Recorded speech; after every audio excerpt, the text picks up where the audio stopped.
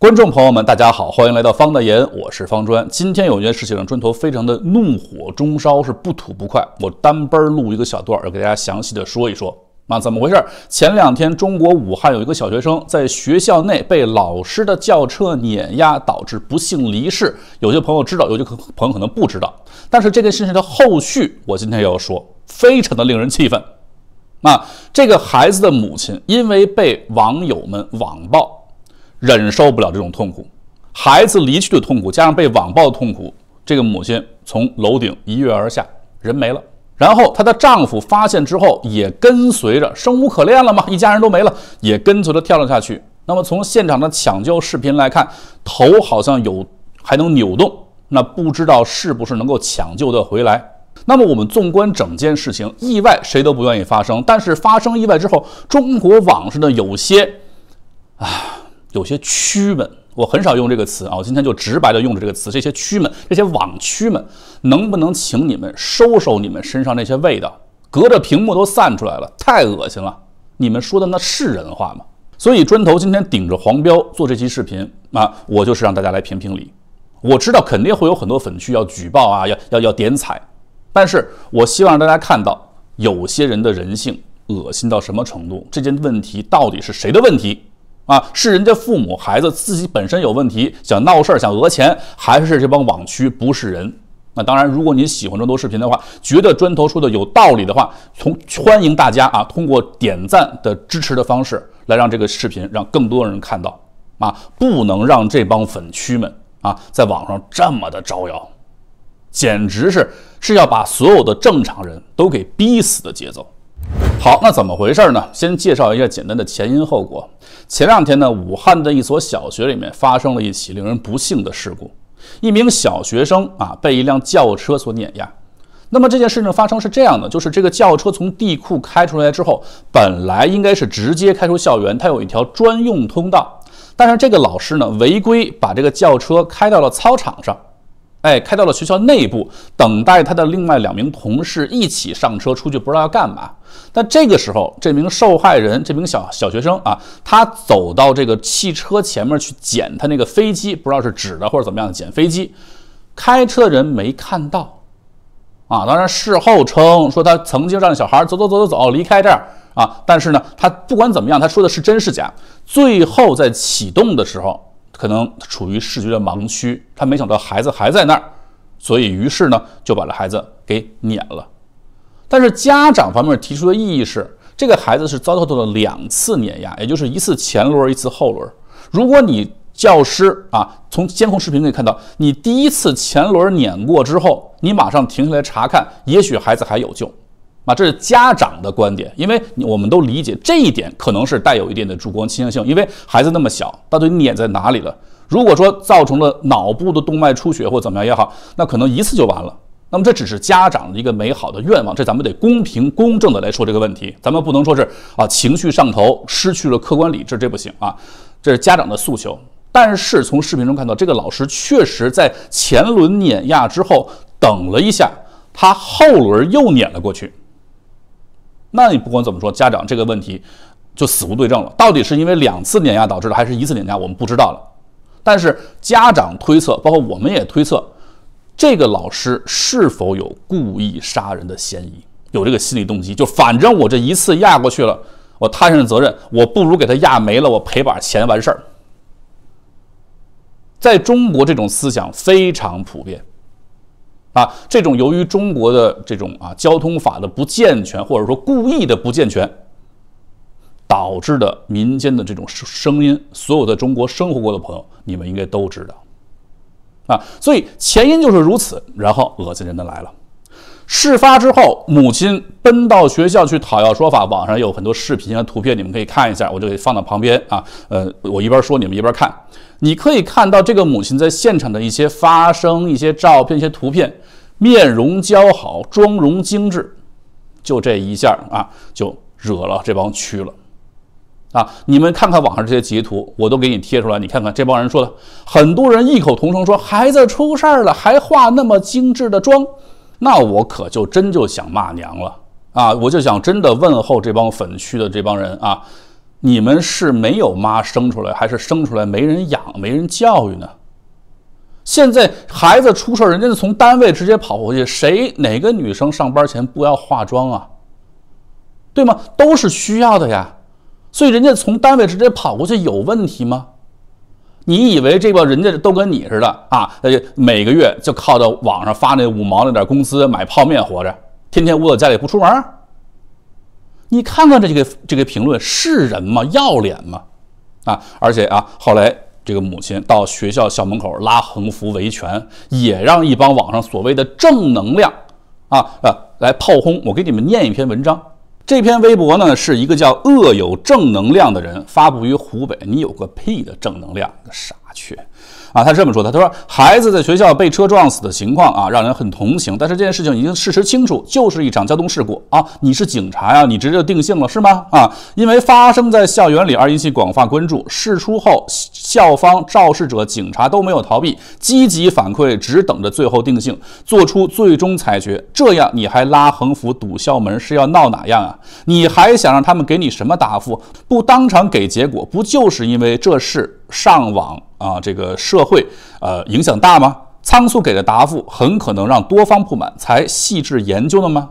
按已经报道的内容来看，我不相信校方没有找你们协商过，事实的经过也已经很清楚了。哎，这个人就是说，网友网友干好你网友的事情，这就是那个臭味儿散到海外了，这个这个这个这个典型啊！你怎么知道清楚了？你是警方吗？你算个屁呀！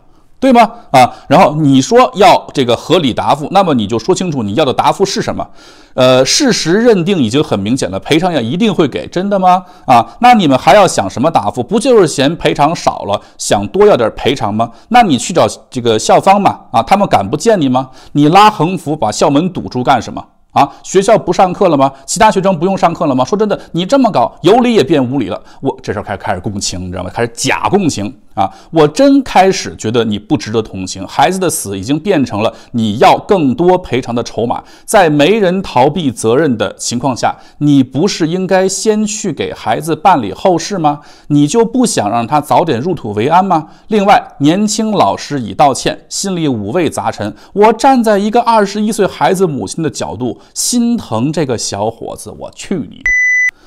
啊，我真的是，我就没见过如此厚颜无耻之人。这个人比前两天那个电玩科技啊，比那个人还要恶心，而且可能恶心一万倍。为什么啊？因为电玩科技可能是由于他的情绪一时激动啊，导致的发表的那些言论。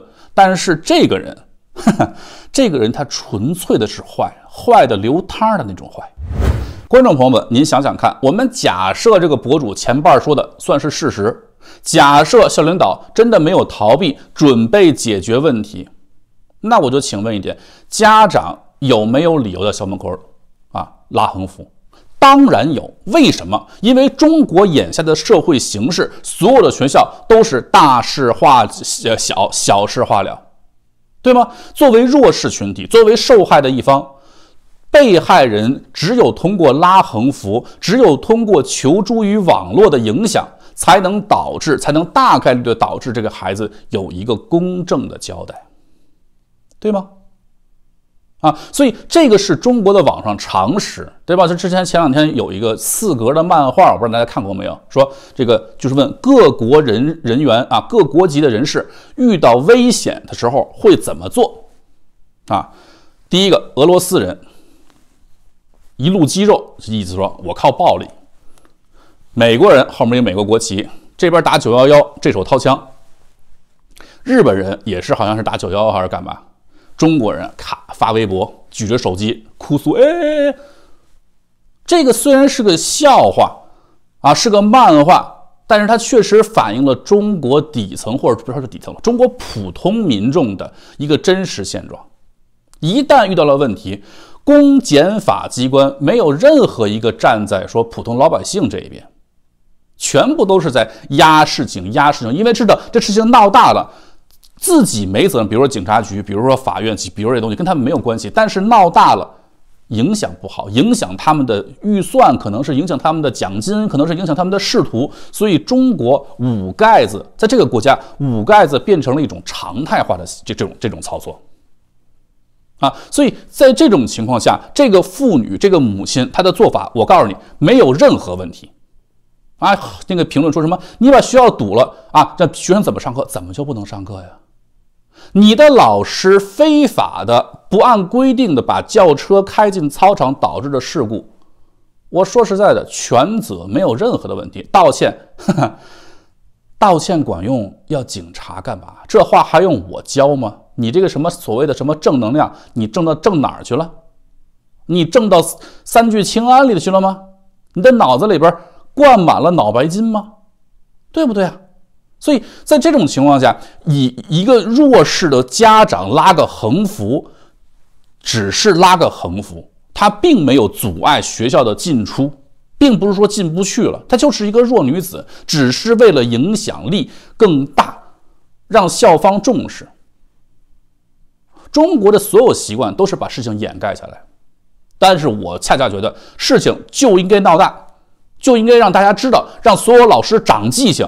这个事情已经这样了，孩子已经没了。但是以后所有老师记着，你们如果再违规办事情，把车开到学校里边，开到教这个什么啊操场上，那你们应该按照考驾照的时候教练的要求，启动引擎之前围绕车转了一圈。你转了吗？对不对？中国驾校有这一课，记不记得？啊，路考啊，或者说填那个什么什么考那个什么考试笔试的时候有啊，你都念到狗肚子里去了是吗？还是这个所谓的什么恶有正能量？你这辈子除了拖拉机没开过别的？嗯，对不对啊？所以总而言之，言而总之，这个家长没有任何问题，但是就因为他的妆容，就因为他拉横幅，而而且还疑似啊，疑似有警察来这个，呃，来息事宁人。最终导致的就是这个家长啊受不了双重的精神打击，最后从楼上一跃而下。啊，网上有说法说，最终他们接受了调解的协议，说是赔了二百六十万。所以可能也许有些人是觉得这二百六十万挺多的，哎，呃，要给我的话是吧？这这帮粉区可能想的是给我的话，肯定啊怎怎怎怎么样好？那你还不知足，于是就喷他，有没有这个可能性？是有的。可是话说回来，观众朋友们。我不知道这帮人说这话来的这帮人，他们是没有生育能力，还是压根就没有孩子啊？作为一个父母，孩子没了，只要是正常的父母啊，没有人是想要就是说多要钱的啊，那是用孩子的命换来的。你花的时候，你手不抖吗？你良心不痛吗？对不对啊？所以等等等等，很有也有有有一帮人，我就不给你贴那个视频了啊，不给你贴那个这个截图了。利利用这个赔偿钱的事儿，也去攻击这女的，你攻击这位母亲，所以什么妆容啊、横幅啊、赔偿啊，加上孩子离去的多重打击，一般的人别说是个弱女子了，有的老爷们儿啊，针尖大的心心眼儿，稍微的堵点儿，他都扛不住啊。所以呢，后来她的丈夫可能也是想不开，跟着一块儿就下去了。这家里孩子孩子没了，老婆老婆没了，谁遭得住这打击啊？啊，所以中国的网络环境真的已经到了一个臭不可闻的地步。说真的，这一次这件事情，咱们先暂时抛开政治性的言论审查和由于中国政治审查导致的网络政治环境恶化，咱们先不谈。现在已经不是政治的问题了，是连正常人说话都不行了。这个网络环境已经恶臭到这个地步。啊，我相信这次的这件事情，如果在外网上，任何一个正常的国家，西方，你不会说美国、英国、法国、日本、荷兰，或者说是澳大利亚等等，任何一个地方都不会出现在中国网络上这样的词语，对吗？